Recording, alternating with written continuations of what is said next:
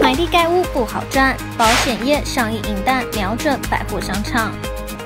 保险业者手中现金满满，他们收取保费来投资赚取更高报酬。过去最爱投资房地产，现在则转向进攻百货商场。购买土地来去做投资的话，虽然可能中长期会有一些获利，但是短期间之内的一个现金收益会比较差一点。那与其如此，不如来去做一些所谓的一个开发案，在现金流的一个部分上面会比较稳健。面临法规改变，加上监管会的诸多限制，以及房地精华地段几乎都被买光了，这都让买屋囤地的策略转弯。金融寿险业转向投资百货商场，他们要希望找一个新的标的，能够立竿见影，立即有成效。那目前有一些 BOT 的案子，像台湾人寿跟市政府合作的视图二期公购文创会馆，面有商场跟饭店已经已成。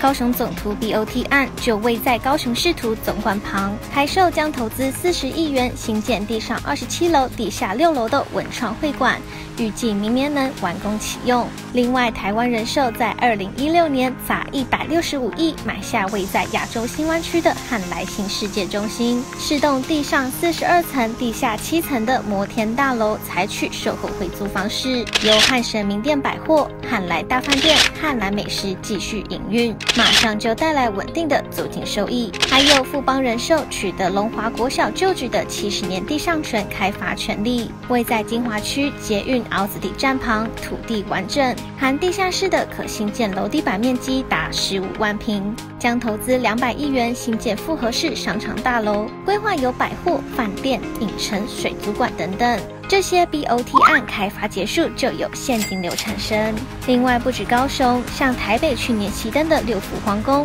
也传出国泰人寿有意接手。台北站前的亚中广场大楼，每层分别有不同寿险业公站，包括星光、台湾、国宝、中国人寿等等。有明确投报率的商办物件，小一块有明显，都显示保险业者投资的架构已在改变。